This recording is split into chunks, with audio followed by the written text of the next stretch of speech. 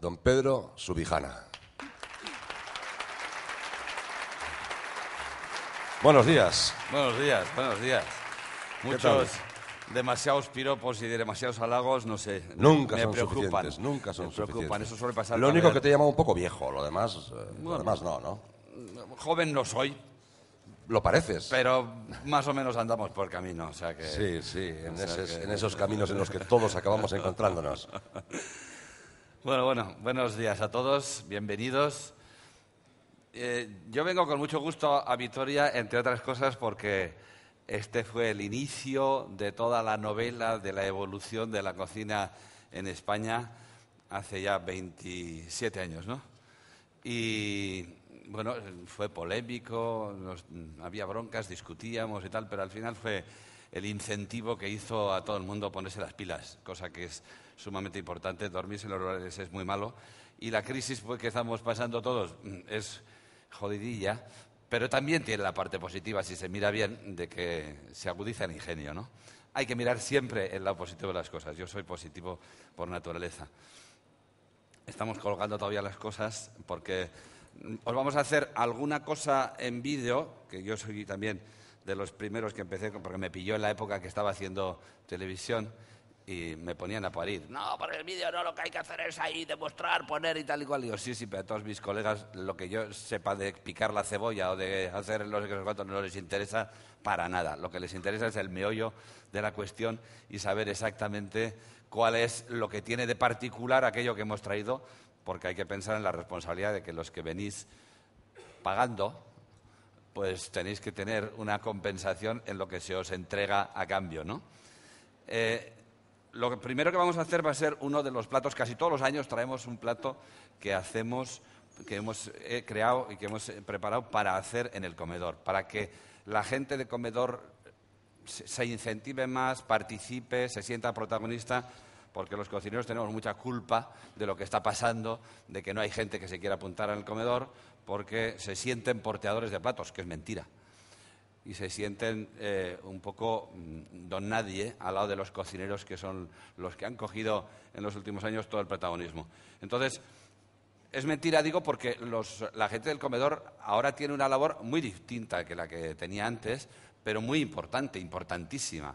Porque en la cocina parimos el plato, pensamos en no sé cuánto, le hemos visto a Máximo, que es un personaje queridísimo por todos nosotros y un grandísimo cocinero, cómo está explicando el argumento, la razón, el cómo, el por qué, la vía por la cual ha llegado a hacer aquel plato. Y toda esa filosofía y todo eso está muy bien en una ponencia, pero cuando llegas a un cliente y le pones el plato y te vas, no hay tiempo para explicarle todo eso. Pero el camarero hoy en día o la camarera tiene que poder transmitir todo eso todo ese cariño y toda esa razón por la cual se ha hecho un plato al comensal. ¿no? Bueno, nosotros de las cosas que hemos hecho para el comedor, eh, os vamos a empezar con una parte de vídeo para que veáis la parte más larga de la preparación previa y luego lo terminamos de hacer, de hacer aquí. Ponemos el, el de la- las gambas con el fuego de orujo. Eh, bueno, producto maravilloso, eh, fantástico y riquísimo, sí. ¿Por qué no usamos las gambas rojas y sí las blancas? Pues porque tenemos bastante mejor servicio de gamba fresquísima de la blanca de Huelva que de la roja de- del Mediterráneo. Lastimosamente, porque a mí la, la roja me gusta tanto más que la blanca. Adelante. A ver si arranca. Hacemos No hay como poco- ser pionero, ¿eh? ¿Eh? No hay como ser pionero en esto del vídeo. Ahora Ya es ves. el único ya que no le funciona. Eso es. Estaría bueno, ¿eh? Ahora que no podamos ponerles el vídeo. Te veo subiendo allí corriendo, Enrique, a ver qué es lo que pasa. Claro, habrás traído aquí algún vídeo beta o una cosa de esas de Nada, tu- de, tu tiempo. Normal, como siempre. Claro. Y, y probado y comprobado. ¿Eh? Ah, sabe dónde es. Bueno, eh, vamos preparando mientras tanto entonces el final, aunque sea para que lo vayan viendo, que el, el plato que se lleva a la mesa está hecho en una cazuela de hierro. El camarero lo que hace es poner unas piedras volcánicas que las hemos embebido, eh, bueno, el camarero no, nosotros de la cocina le llevamos, las hemos embebido en alcohol, en alcohol aguardiente de vino, que está prohibido. No se puede comercializar, pero eso me incentiva más todavía, ¿no? Entonces, yo ya me lo consigo. Entonces, lo que ponemos estas piedras bien embebidas y un poquito del aguardiente. Y ahí colocamos encima las gambas que, que están peladas la cola, pero la cabeza y la puntita de la cola la tenemos. Sí, si pudieran quitar de la imagen eh, lo que estamos viendo, de la pantalla, perdón, y pudiéramos ver lo que está haciendo Pedro, sería mejor. Eso, gracias. ¿Qué pasa? Que todavía no han conseguido el otro, ¿no? No, de momento no. Bueno, tenemos las piedras embebidas en el aguardiente y unas briznas de tomillo. Estas briznas de tomillo se van a quemar con el fuego, al perder fuego, se van a quemar y van a dar un cierto toque de ahumado y de perfume del, tomillo. Y esto es lo que le van a llevar al, al comensal a la mesa. Pero en el plato, sí, vamos montando el plato mientras la tecnología funcione o no. Entonces, aquí tenemos en el plato una arena, que es la que se, ve en el vídeo, es una arena hecha con gambas, para que tenga un sabor a gamba. Nosotros fuimos, el otro día lo estaba buscando, eh, hace como 12 años que empezamos a hacer esos films, esas láminas, que empezamos con la de patata, con un plato que hacíamos de cordero en, eh, eh, envasado al vacío y cocinado a baja temperatura, y que le poníamos luego una nube de patata encima, para lo cual hacíamos primero una lámina de patata, después la de pimiento, que hacíamos un caramelo de pimiento rojo en, relleno de, de queso fresco, y así hemos ido haciendo esas láminas que luego las usamos de una manera o de otra. Esta lámina, la de las gambas, la hacemos cociendo arroz con gambas con las cabezas y los recortes de gambas y con gambas troceadas. Luego trituramos, hacemos una pasta y esa pasta la extendemos sobre un silpat y en ese, eh, en ese silpat la extendemos finita, la dejamos secar y despegamos una lámina. Pero esa lámina, en principio, que se queda rígida, porque el arroz, una vez cocido y triturado, luego se queda rígida, no tiene el saborcito sabroso y entrañable más que cuando lo pasamos por un aceite que no esté demasiado caliente. Ya está como unos 80 eh, eh, o 90 grados sin hervir para que coja el sabor de frito y luego la trituramos. Entonces ahora vamos a ver si nos ponen el, el vídeo. Aquí está. Aquí está. El acompañamiento que lleva es mm, vainas. Este plato mm, está hecho en verano, lo pusimos como plato de verano, entonces las vainas en verano están en su mejor momento, aunque tenemos todo el año. Y entonces eh, cortamos las láminas en las vainas en láminas finitas, las escaldamos en agua hirviendo y luego las hacemos un, enrollado que al principio le poníamos en la, en la cazuela, encima de las piedras, para poner las gambas encima, porque las gambas no estuviesen encima de la piedra, pero al final las ponemos eh, en el plato ya que va desde la cocina. Y otra parte de las vainas, justo salteadas y doradas un poquitín para quitarles el crudor, pero, pero muy poco, las pasamos por la licuadora, obtenemos un zumo de vainas muy sabroso y muy potente que lo ligamos con resurce. El resurce es un almidón de maíz modificado que nosotros ya nos hemos hecho accionistas porque porque consumimos un montón, pero es que es mucho mejor que la harina y mucho mejor que la maicena y mucho mejor que muchos otros productos, lo que pasa es que es muy caro, porque se compra en farmacias. Ahí hacemos estos envoltillos de, las vainas que ponemos debajo de las gambas. Por otro lado, lo que estaba contando es con las cabezas, y, con algunas cabezas y con algunos trozos de vainas, cocemos arroz, metemos esas esos trozos de gambas en el arroz, lo, dejamos cocer, lo trituramos y convertimos aquello en una pasta que sabe a gamba, pero sabe a gamba de una forma a gamba cocida. Luego, al extenderlo y secarlo y freírlo es cuando conseguimos el, otro sabor y obtenemos esta, arena. ¿Mm? Eso extendido y secado nos da como resultado el, esta lámina. Pero esta lámina todavía después hay que freírla casi sin, casi sin hervir el aceite, ¿eh? bueno, no, sin hervir, para que quede sabrosita. Que esto podía ser comparable un poco pues, a las, al, al pan de gambas de los chinos, ¿no?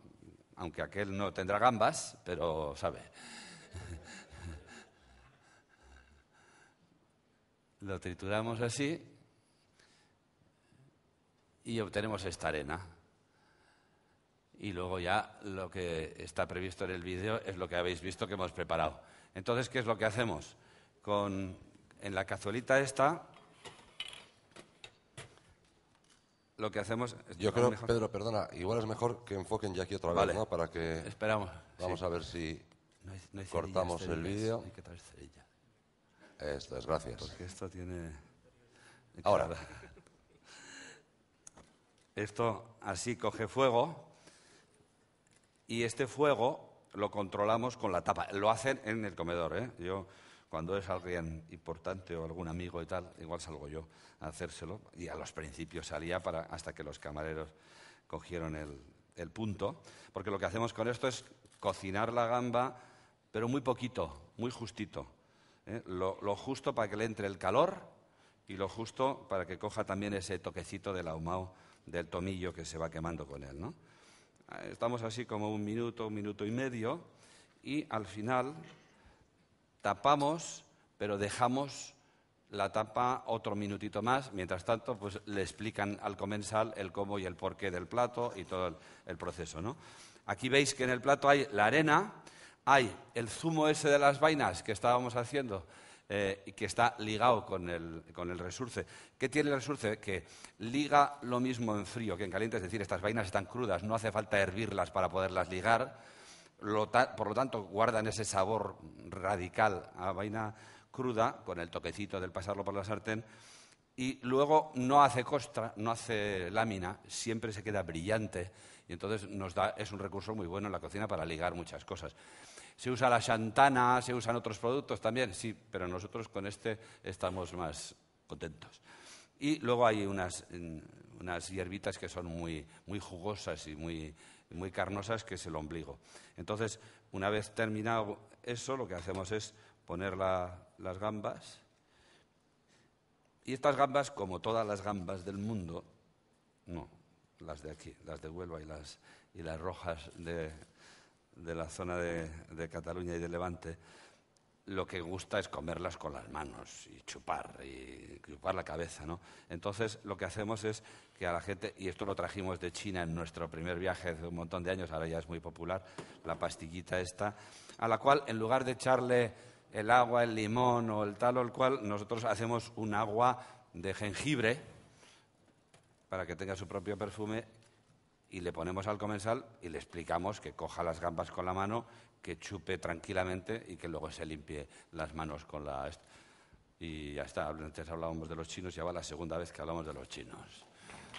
Y lo que te rondaré, Morena, hablando de los chinos, ¿no? Y todavía vamos a hablar más, porque hay te digo yo que sí.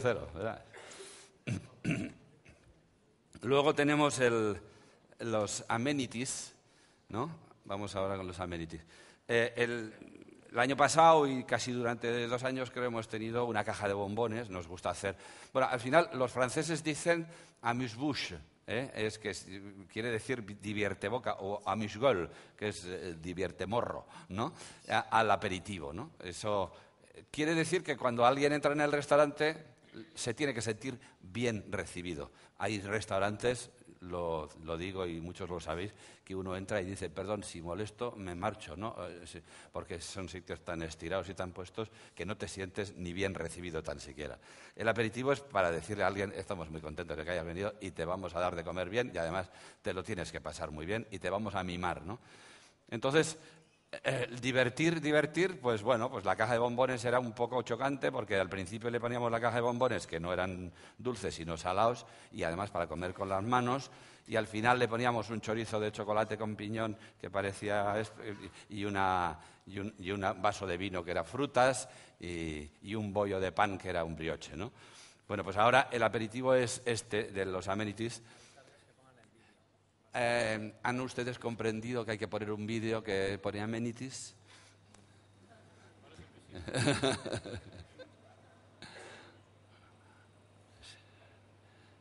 Este es. Entonces, primero hacemos un zumo de tomate blanco, es decir, le quitamos la parte. Primero volvemos atrás y ahora ya vamos al. y luego para adelante. Ahí, ahí. Un pasito para adelante, otro para atrás. El gel. Entonces, esto ya todo el mundo lo sabe y lo conoce. La parte roja del tomate es la sólida y el líquido es color vino blanco más o menos. Entonces lo que hacemos es triturar el tomate y hay dos formas, colarlo poniéndolo en una estameña y tal y cual, o hervirlo suavemente de forma que se separa y se cuela, se separa el líquido del sólido y se cuela. Y ahí obtenemos el... este, aquí por, por efecto del vídeo se ve más blanco de lo que sale, sale más el color de vino blanco. Entonces luego lo que hacemos que es ligarlo con, una, un, resurce que le da una, una textura de gel y entonces hemos diseñado, hemos buscado, nos hemos vuelto locos para hacer el frasquito, la etiqueta, que simula una etiqueta muy conocida de gel, etc. para, para un segundito. Ahora vamos con la esponja, ¿no?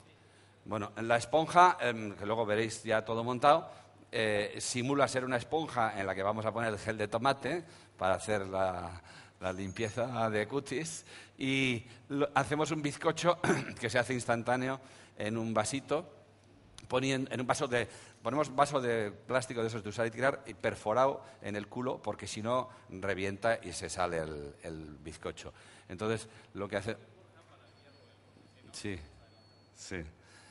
Vale, entonces eh, lo que hacemos es mezclar todos los ingredientes, huevo, harina, azúcar, leche y cebolla muy pochada, cebolla muy hecha, porque hacemos un bizcocho de cebolla. Estamos hablando de salado y le añadimos cebolla muy hecha, muy hecha. A ver si ha llegado. Se puede continuar. Eso es. Mezclamos todo, eso es la cebolla muy pochada, lo trituramos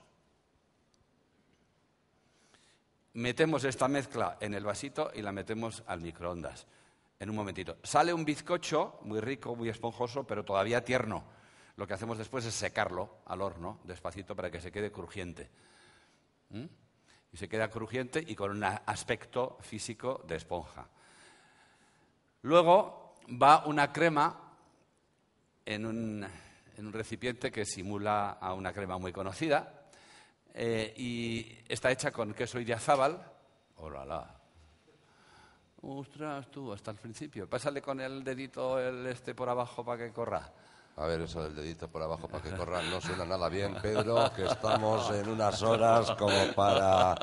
como para para. Es que lo mejor es tener el aparato aquí y le doy yo. Y ahora el aparato aquí, claro, y luego el dedito. Ahora, joder. Menos mal que vamos rápido. Ahora no le deja. Ahora sí pones. Oye, pero emoción tiene. Sí. ¿O no sí, tiene sí, emoción? Sí, sí, mucha. Yo me estoy poniendo más contento. Claro. ¿Eh? Bueno, el bizcocho ese, como digo, se hace la esponja y tal. La crema de idiazábal la hacemos troceando queso idiazábal, lo ponemos en agua a hervir y hacemos una crema. Joder. Y ah. a que subo yo ahí arriba. Esto se resetea y, ya, está. Entonces, eh, la crema también la ligamos, o sea, se tritura el queso con el agua, se liga y se le da una consistencia de crema untuosa, que al hacerla, y según se ve en el vídeo, queda como un poquito líquida porque está caliente todavía, pero después en el recipiente se queda seca. Y bueno, vamos a sacar la imagen de que... Ah, esto es... Y por último, no, no, y entre medio tenemos la... A ver en dónde vamos. Hemos hecho la esponja.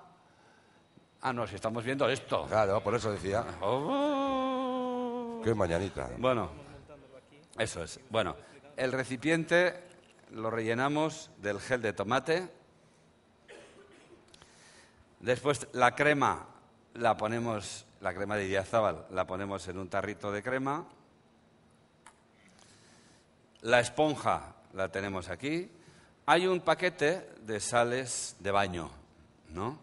Entonces, eh, ese paquete está hecho con ovulato. El ovulato lo conocimos en nuestro primer viaje a Japón, que lo vendían en las farmacias también porque está hecho con fécula de patata y ahí ponen medicamentos y, lo meten en la boca y es como la cápsula de, los medicamentos que se disuelve y ya está, ¿no? Entonces, lo que, lo que hicimos es comprarnos un soldador de estos de bolsas y hacemos nosotros los paquetitos. ¿Qué es lo que metemos dentro? La sal de gambas, que os hemos explicado antes, y eh, unos camaroncitos de estos pequeños también sal- salteados y triturados y troceados. Sí, a ver, la- tu cámara es esta. Creo, creo. Crees bien. Tampoco hace falta que te metas dentro, ella te llega hasta aquí, ¿eh? Eso es. Entonces, ahí tenemos la crema de Idiazábal. Dígame. Que ya está el vídeo. Vale, póngala. Oído, marchando.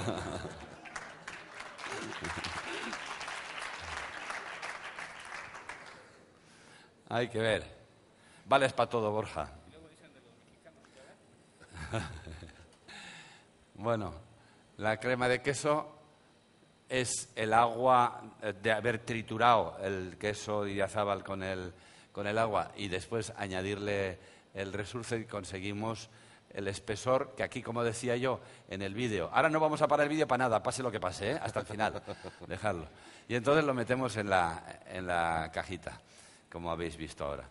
Y luego tenemos las sales de baño, si sigue el vídeo para adelante,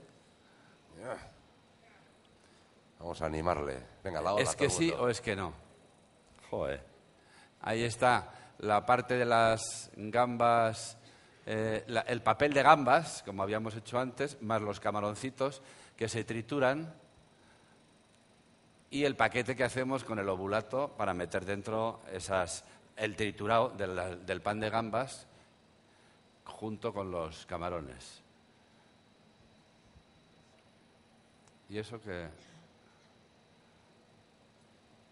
Ahí está.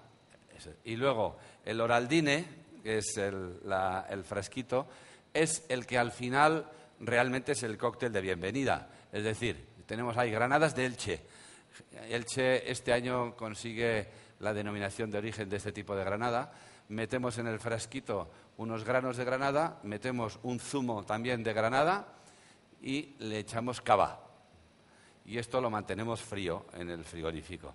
De forma que cuando el comensal llega, se le pone los, los amenities en el... No sé por qué no... ¿Ha ido a por el cava igual? ¿Ha sido por el cava? La, la granada, que no les he echado tampoco. ¿Eh? Y el tapón de forma que además queda cerrado como si nunca se hubiese abierto. Y entonces ese es el, Vamos a el enfocar aperitivo. aquí el plato. ¿Cómo se come el aperitivo? Pues difícilmente, lo, por lo que difícil. intuyo, ¿no? Ya, lo- el aperitivo se come. Espera, espera, un momentito, espera un momentito, a ver si lo ¿Qué, pues? enfocan. Ahora, ahora. Se come poniendo el gel de tomate en el, En bizcocho, en el bizcocho de cebolla y te toca. Uy, qué suerte. Claro, lógicamente, tú eres aquí el comedor oficial, el probador.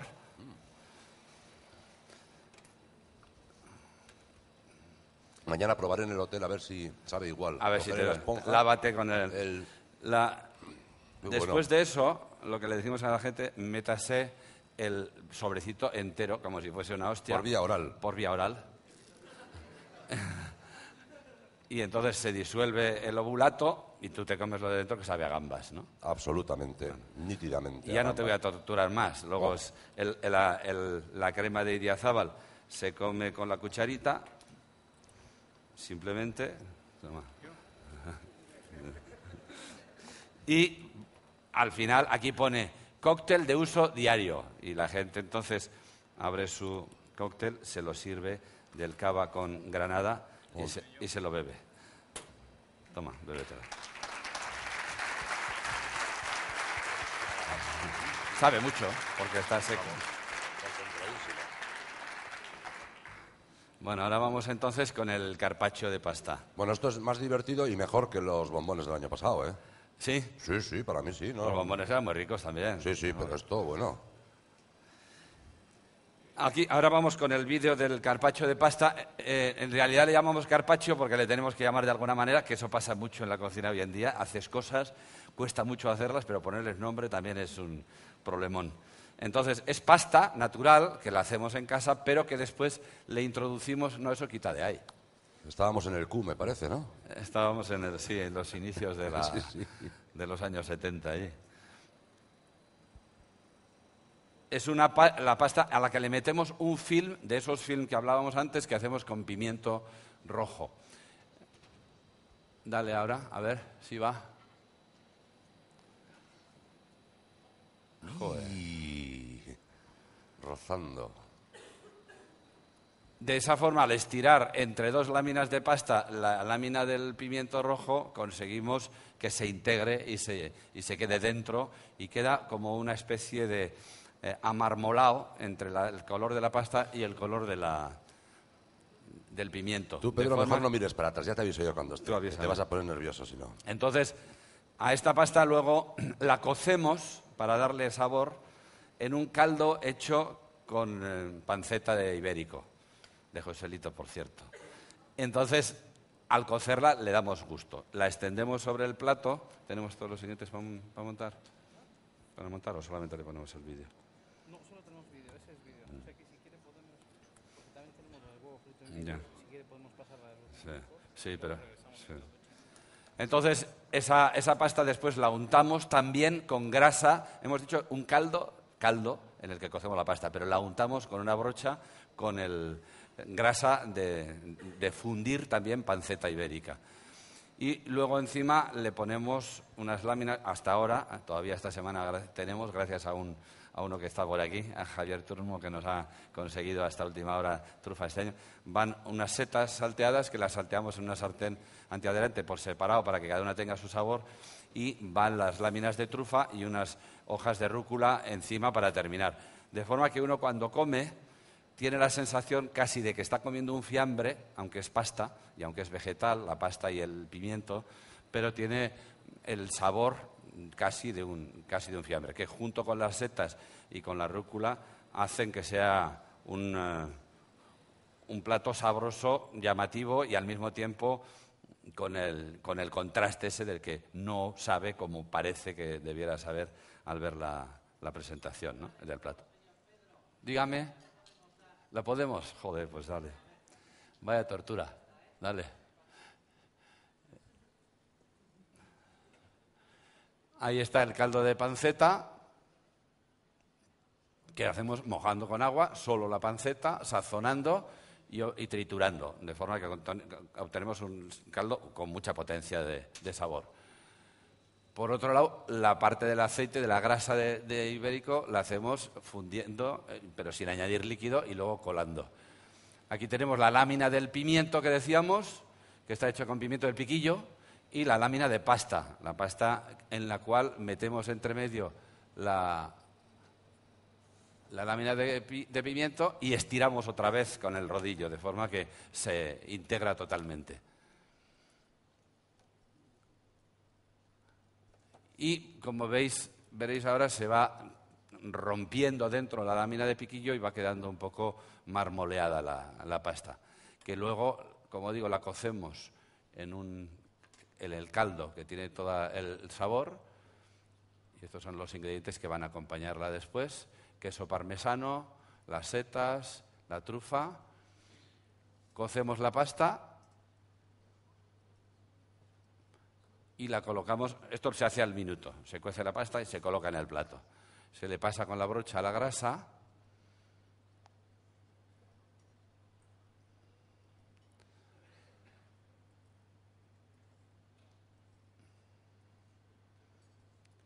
Se saltean las setas después de untarla con la grasa y colocamos el parmesano, la rúcula, la trufa y las setas.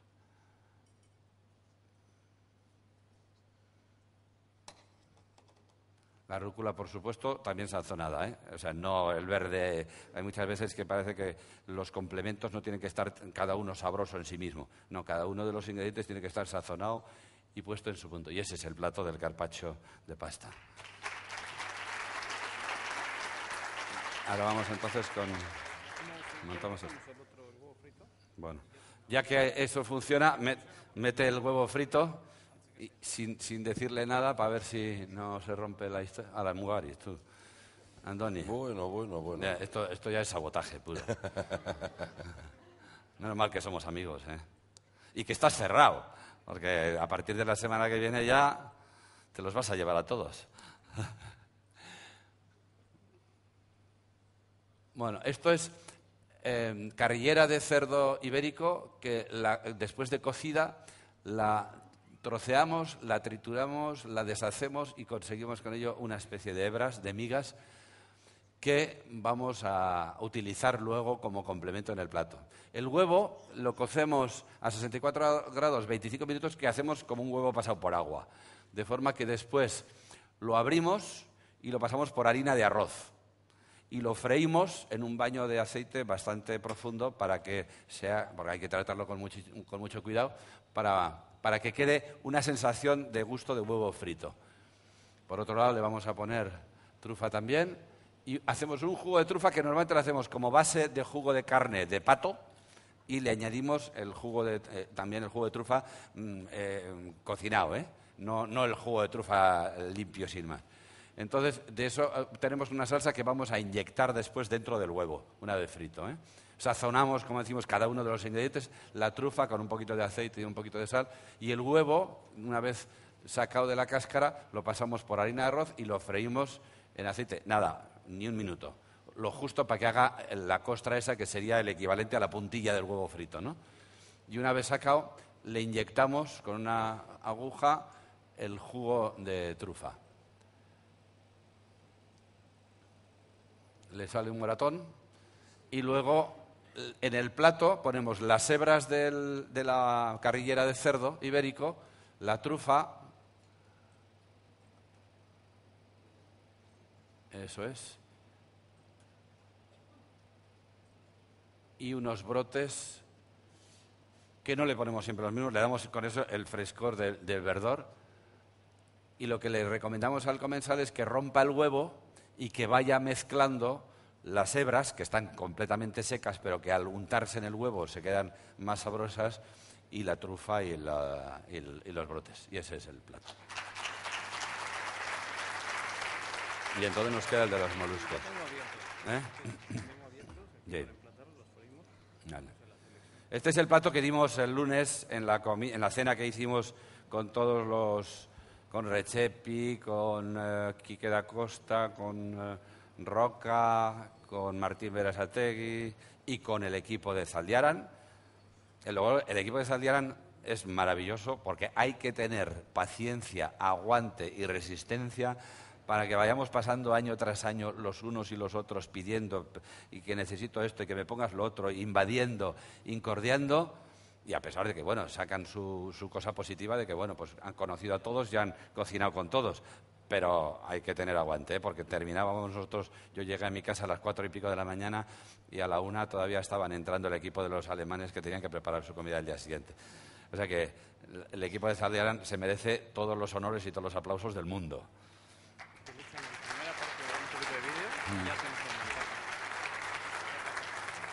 Y entonces nosotros hicimos este plato, este plato que vamos a poner una parte en vídeo y el resto lo montamos aquí, lo, preparamos aquí. Es un plato radical de sabor de mar y lo hacemos a base de diferentes moluscos. No nos atrevimos el otro día a poner ostra, ponemos ostra, pero no nos atrevimos porque lo de las ostras a algunas personas les sienta bien, a otras les sienta mal y tal, y suele a veces causar algún problema. En el restaurante sí que ponemos. Lo que hacemos es abrir los distintos moluscos de formas eh, lo más mm, escuetas posibles, no, no dentro del agua, sino a- a- normalmente en la brasa con el carbón. No voy a parar porque, porque si no, si paramos luego no arranca. ¿eh? Entonces, ahí estamos haciendo un arroz con el sabor del mejillón y triturándolo para conseguir hacer una salsa.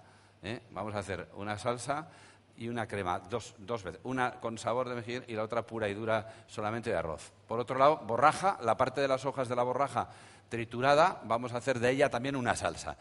Es una cosa curiosa, que no sé si habéis observado algunos, que la borraja, a pesar de ser muy aragonesa y muy de tierra adentro, con los ojos cerrados tú te metes una hoja de borraja o una y recuerda al marisco, recuerda al mar.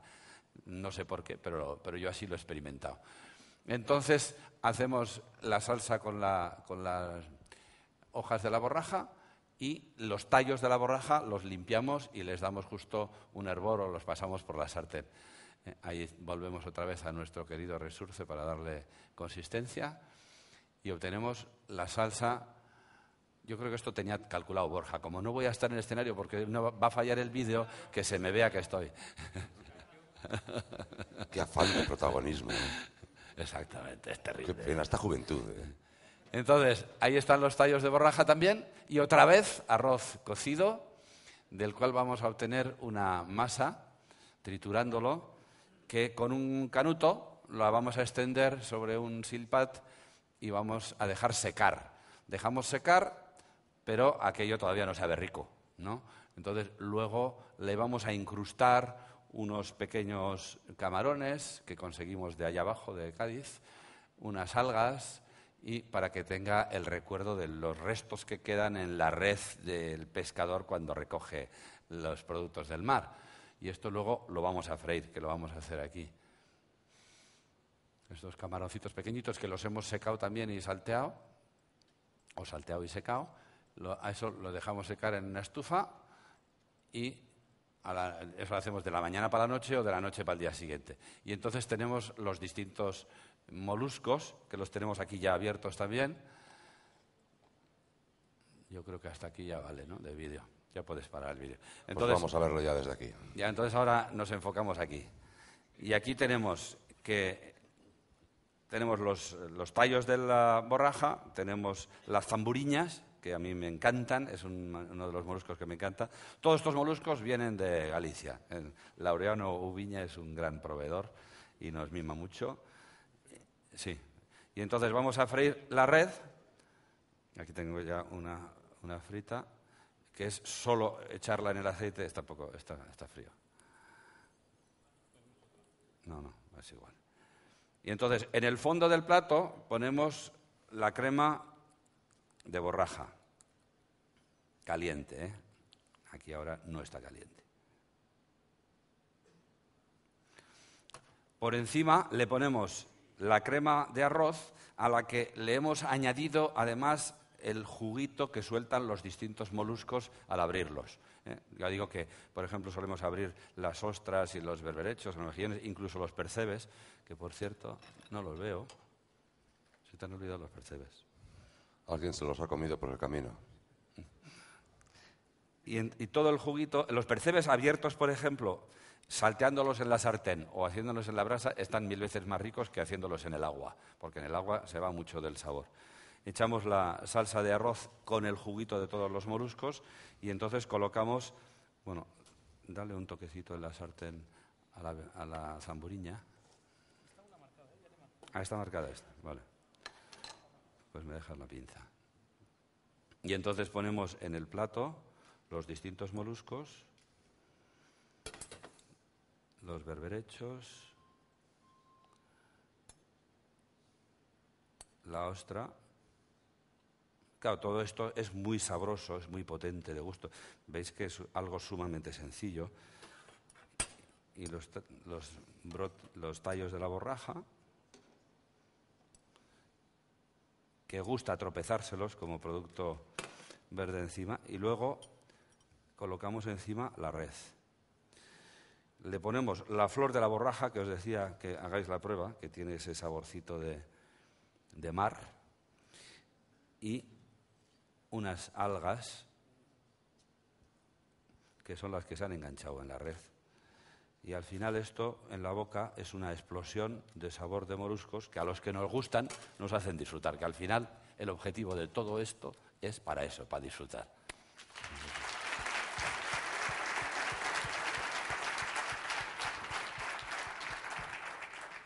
Don Pedro Subijana y sus... eh, Enrique y Borja, Borja y Enrique, se ocupan en eh, aquelarre, esto tenía que haberlo hecho al principio, pero se ocupan en Aquelarre de la partida de desarrollo, en el aula que hemos hecho, que es primero, eso, la partida de desarrollo, pero luego también es un aula en la que hacemos demostraciones, hacemos comidas guiadas, hacemos eh, eh, una parte de clase de cocina y después pasan al comedor y comen, hacemos al gusto de cada uno una actividad que además, como no teníamos, como teníamos demasiado tiempo y nos sobraba, pues hemos dicho vamos a ocuparnos un poquito más.